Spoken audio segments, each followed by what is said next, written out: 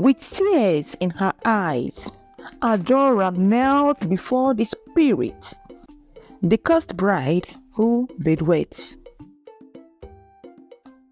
In a peaceful village named Otua, everyone believed so much in curses and blessings.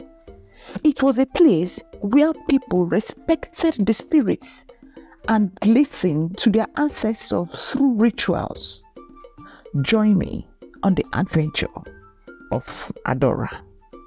Adaora was born on a beautiful night with full moon shining brightly. Her parents, Norma and Okoye, were very happy to have her.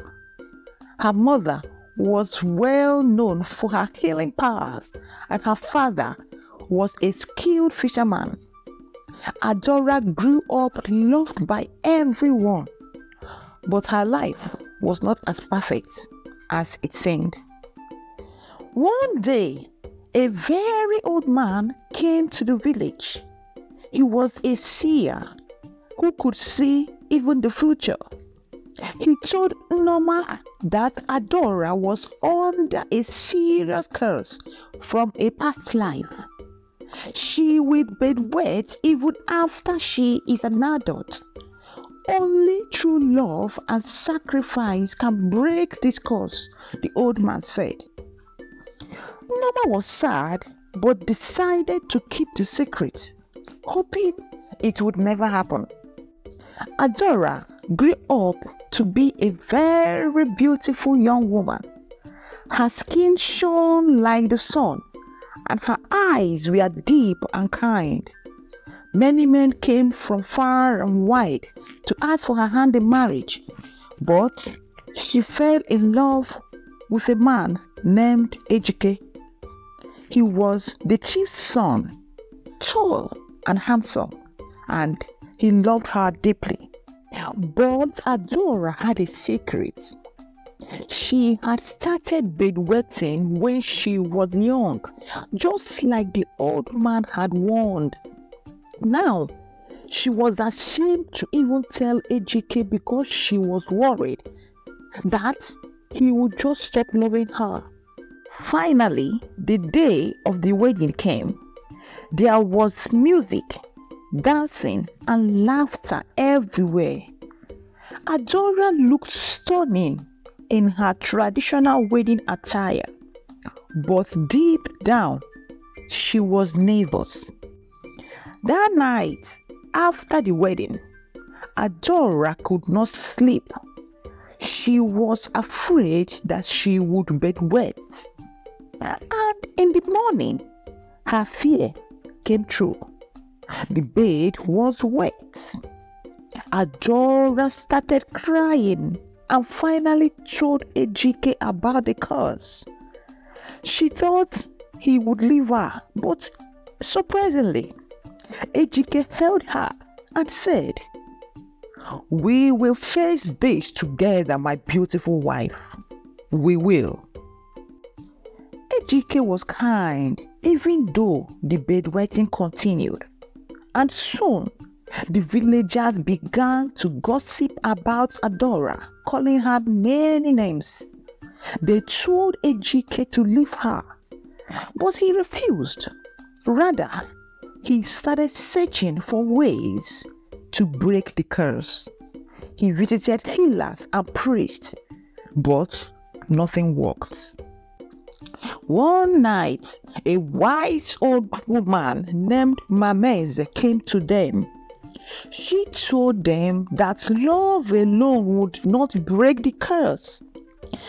Adaora must make a great sacrifice, my son.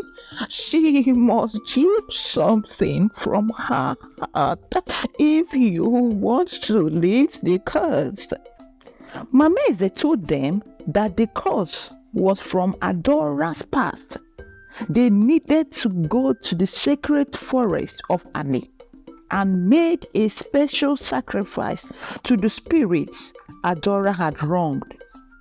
Adaora and Ejike began their dangerous journey. The forest was dark and full of wild animals and tricky paths. Adaora started to remember her past life.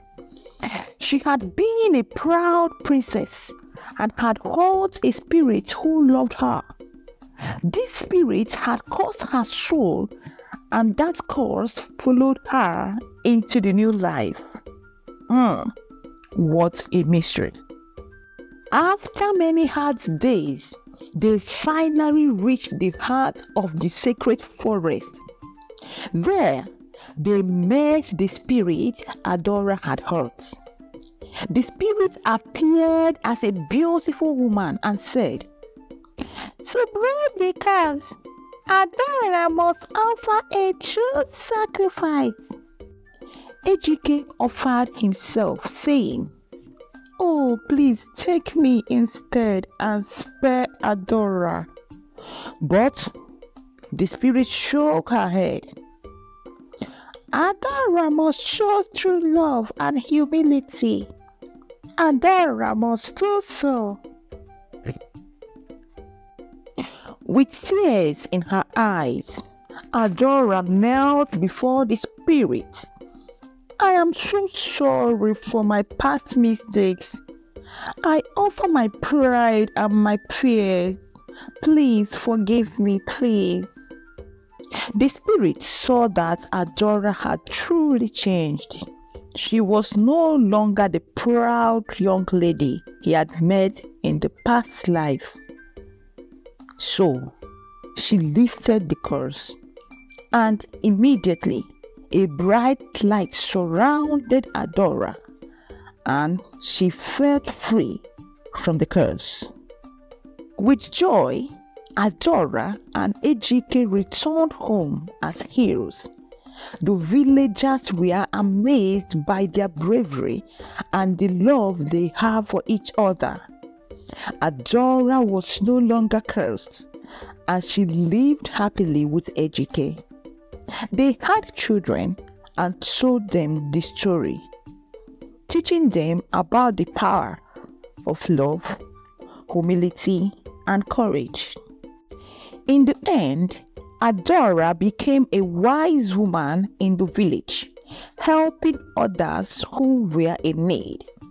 Her story was passed down from generation to generation reminding everyone that even the darkest curse can be broken with love and sacrifice. And so, in the village of Otua, the story of the cursed bride and her loving husband became a tale of hope, love, and redemption. Do you know that Bedwetting means peeing by accident, usually by children, but adults can also have this problem. It can happen during the day or at night. Here are some things you can do at home to help stop bedwetting. Drink less water or juice in the evening. Stay away from drinks with caffeine like soda or tea. Use the toilet regularly during the day. Thanks for watching. Love from De Klassiq Stories.